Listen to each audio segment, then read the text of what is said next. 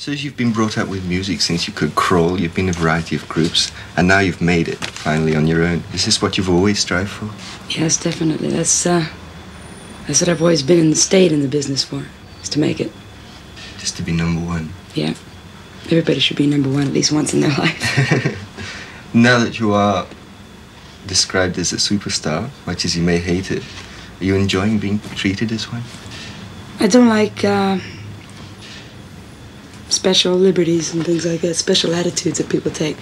You know, after you make it, they think that you're going to change, so they look for it. And I haven't changed at all. You know, and people, they tend to look at you and say, oh, hello. And then they're looking, how has she changed? You know, and everything you say is under a, a microscope. You know? That's the only thing I don't like about it. Otherwise, it's great. Hmm. How come you ended up playing bass? Because you know a lot of instruments, don't you? Yeah, I do know a lot of instruments, but I play rock and roll. I'm basically a rock and roller, and bass is the sexiest instrument there is. And rock and roll is sexy. I believe, too, you have one of the biggest basses going. hmm It's the heaviest. It's, uh, there's only three of its kind. And I've got one of them.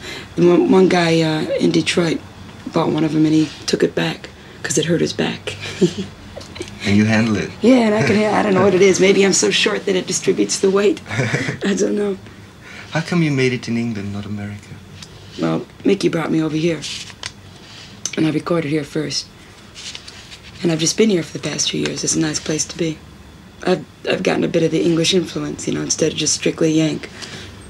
You did a bit of sitting around when you first came here, did you? Yeah, quite a bit. Mm-hmm. And are you writing very much at the moment?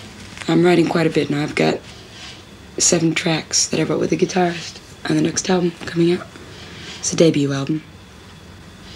Are you happy with it? Oh, yeah. Yeah? Like a little kid. Where do you get all your energy from? I don't know. I've always been, ah, you know, really speed freaky. Maybe it's because I'm a Gemini, I don't know. Uh-huh. How long do you think you'll be able to keep it up for? I mean, yesterday was your first day off for five months. Oh, but I'll keep it up forever, because uh, this is the only reason I'm tired. I mean, I'm not even tired today. I'm still like that. Yesterday, I, I was very, very ill, and nobody could get me to lie down. I, I, I compromised. I stayed in one place, but I sat up. I don't have to like to be quiet. Be an invalid. It's a drag. Indeed.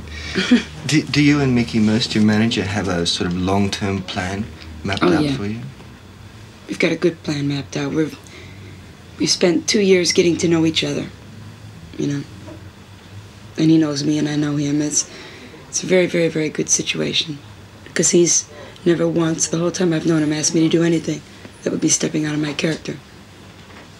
What do you think you will do to sort of maintain your position at the top? I mean, so many people make it, and Mm. a couple of years later, that you never hear of them again. Well, this is all down to the artist's abilities, isn't it? You've got to be able to. Okay, so I've made it on a rock and roll song, and a boogie, and etc. All the others. So I've got fans now, and they like me for that. But what you've got to do is all grow together. I think. You know, you start here and you meet, and they like you for that, and then you sort of go like that and blossom out, just like, just like the Beatles and the Stones did. Um, my father's a musician. He plays accordion, violin, bass, organ, piano. Right? He's a dago.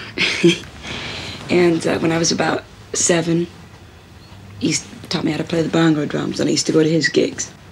Do you think that sort of background is going to affect the way you think now? Definitely.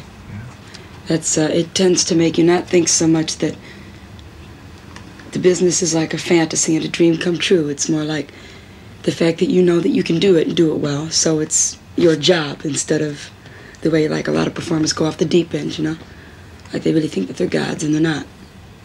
So I think it's given me a sort of stable view of being able to do my job and do it well. It's, it shouldn't be uh, something that you go around bragging about all the time. And you think you'll be able to keep that up, keep your ego under control? Yeah, definitely.